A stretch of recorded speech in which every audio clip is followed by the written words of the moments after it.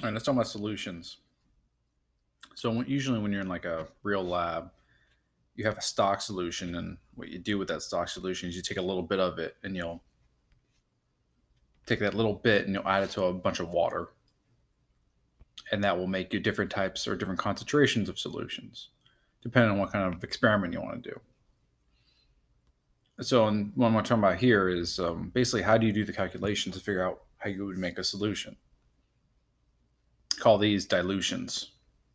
Where you're taking something that's concentrated and you're going to take a small bit of it, mix it with a bunch of water, and get a diluted version of that stock solution. The main formula you need to know is M1V1 is equal to M2V2. It's very straightforward to use that. Let's see how to apply it in problems. So you got a 14.8 molar solution of NH3. How many milliliters of this solution do you need to get a solution to 100 milliliters at one molar? So the stock solution in this case is the 14.8 molar of NH3. It's very, very concentrated. We want to make a much less concentrated version. That's just one molar and just 100 milliliters. So we're going to take a little bit of the 14.8 one and we're going to make add it to water to make a one molar solution. So the calculation for that is just M1, V1, M2, V2. So in this case, uh, M1 is just the 14.8. That's your first molarity. V1, we don't know. M2 is just 1. That's the second molarity down here. And V2 is the second volume, or 100. Now in this problem, they use milliliters, so we're not going to change anything. Our answer will also be in milliliters. If this was in liters, our answer would also be in liters. So keep that in mind. It's a really simple problem now. You just divide each side by 14.8.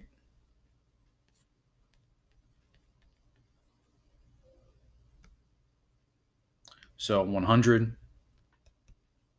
divided by 14.8 and that will give you your V1. Cancels out on this side. 6.76 if you round up milliliters. So the thing is here that we're going to make a 100 milliliter solution at one molar. What you would do is you would take this 6.76 milliliters of the stock solution. Again, that was the 14.8 guy. And you would add enough water to make it 100 milliliters, and that would make your one molar solution. Now, what I just explained there is like the lab application of this.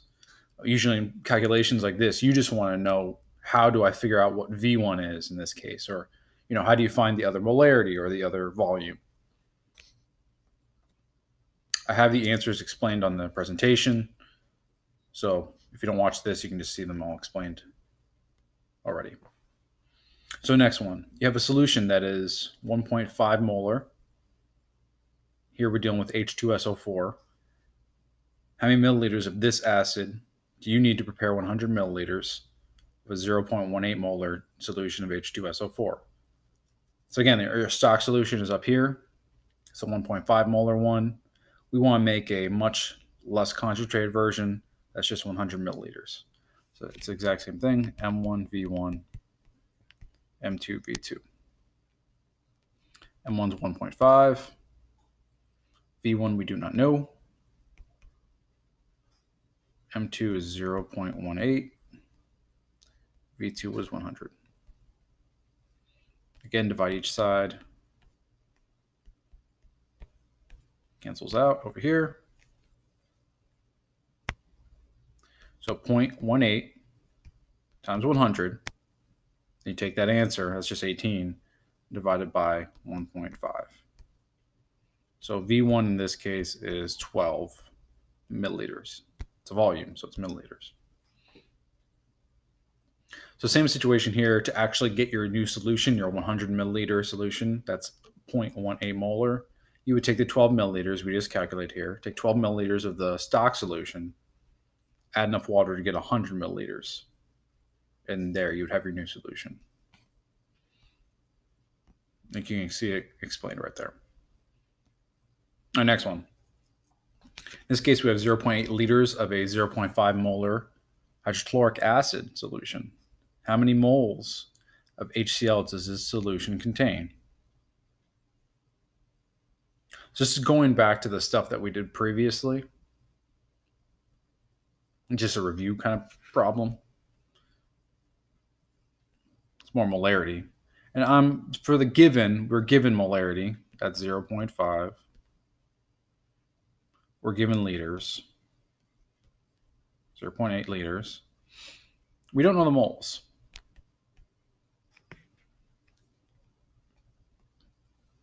So thinking back, the equation for molarity is moles over liters.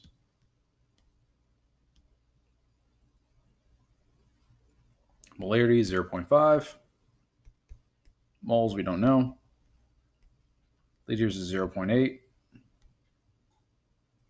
How many moles do we have? It's just multiply each side by 0.8.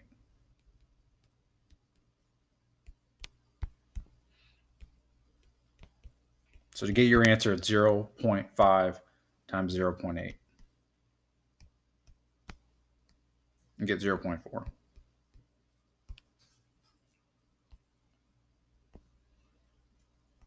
All right, next. This one, we got 44.4 milliliters of a 1.2 molar solution of NaCl. But you need 0.8 molar solution. How many milliliters of a 0.8 molar solution can you make? So going back to the new stuff, M1, V1, M2, V2. In this case, our M1 is the, we can just say it's the first molarity given. V1, we can just say it's the first volume given.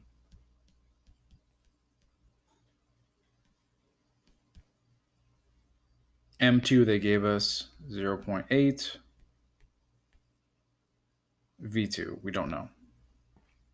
That's what we're going to calculate that. How many milliliters is what we're going to figure out. Very straightforward once you set it up. Cancels out here. So get your answer, you take 1.2 times 44.4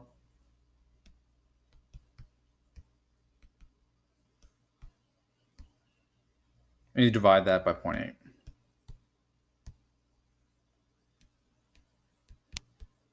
Sixty-six and a little bit. That's a milliliters. It's a volume, so it's a milliliters.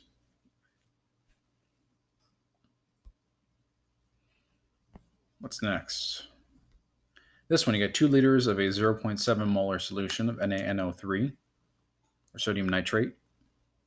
Must be prepared from a solution known to be 1.8 molar in concentration.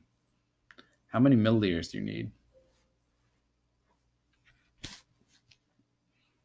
So we can do this just like we did that last one.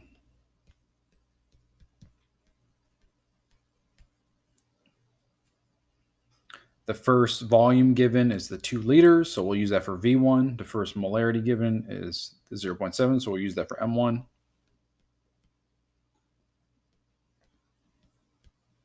this case, we have liters. So I'm not going to change it for now. I'll just leave it at 2. But just keep in mind that your answer, volume finding, is going to be in liters.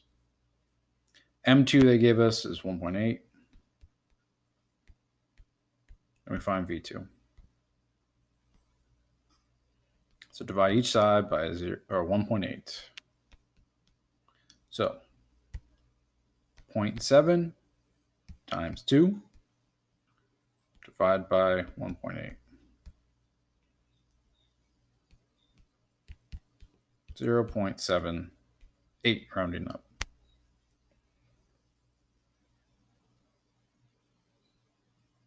Now that is liters because we didn't change the volume up here. This one they're asking us for milliliters. So something you're going to see a lot with these kind of problems is you're going to have to go between liters and milliliters, back and forth. So to convert from liters to milliliters, we want to get milliliters and we want to get rid of the liters. For every one liter, you have 1,000 milliliters. So you just multiply 0.78 times 1,000, and you get 780 milliliters. So that's our actual answer. Now, if you had a problem where they give you milliliters and you have to get your answer in liters, you just do the exact opposite. You divide by 1,000. So writing that down to go from liters to milliliters, it's times a thousand. To go from milliliters to liters, we divide by a thousand. Make a note of that somewhere. Let's see what we got next. What volume is 0.3 molar KCl, potassium chloride, is needed to make 100 milliliters of a 0.1 molar solution? So here they give us a molarity. They don't give us a volume with that molarity. They say what volume. So the way I'll do this one,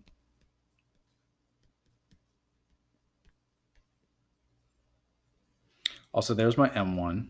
0.3.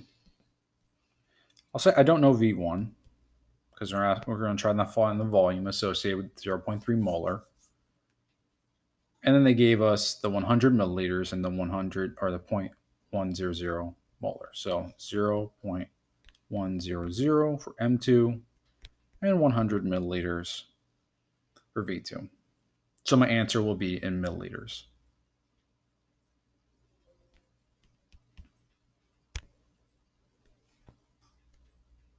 So 0.1 times 100